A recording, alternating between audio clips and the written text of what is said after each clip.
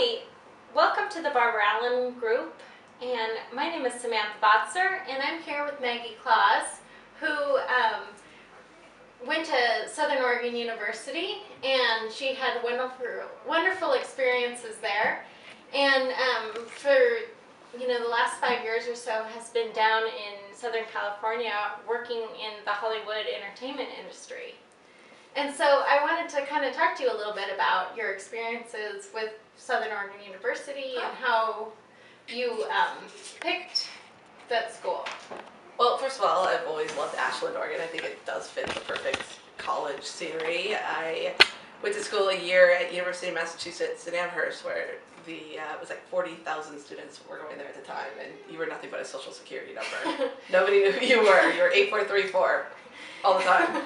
and so then when I actually started going to Southern Oregon University, because I knew I wanted a smaller school, uh, the first thing I noticed that professors actually called you by your first name.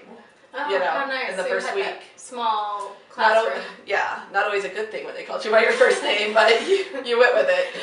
And um, I, I just, I really thrived, my education wise, by education, um, in a smaller environment. I noticed, like, if you got a bad grade, you had a professor there saying, okay, what do we have to do to make this grade better next time?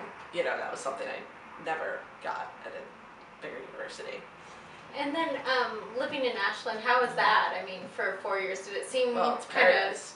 Look at it. It's paradise. I mean, it, it has a little bit of everything of all ages. It has people of all ages. It has, you know, a great night scene. It has a great day scene. I mean, on the weekends, you take a beautiful walk at Lithia Park or go out to a really nice lunch down by the plaza. It just, it was one of those cities I felt like you constantly were discovering new things every weekend.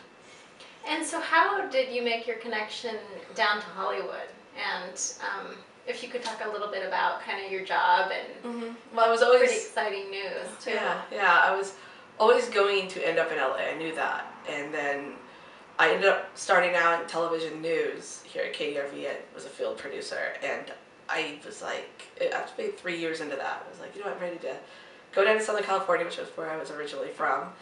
And, you know, give it a shot, see what happens. And I thought, I'll try news. I didn't know what I was thinking. And then I got down there and I realized it's not that easy to just try news. And um, I basically got a job with NBC um, through, a, fr- I mean, it was just by total luck.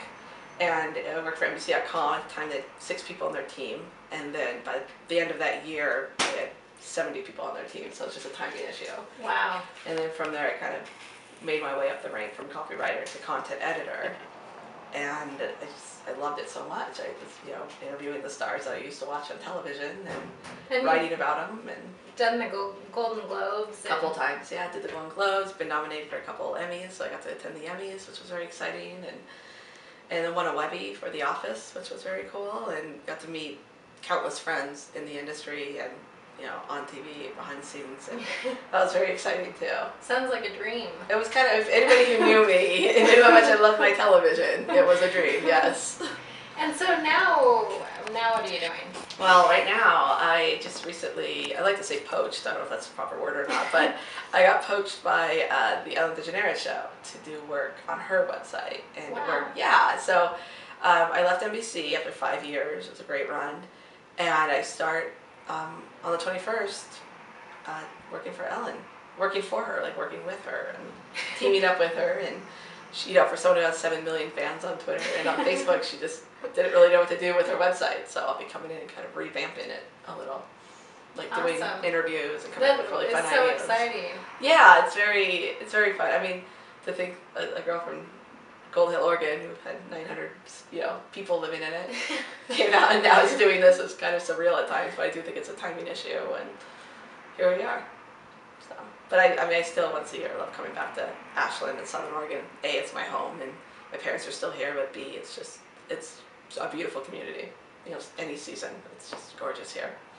Mhm. Yeah. Well, thank you very much, Meg. Yeah, definitely.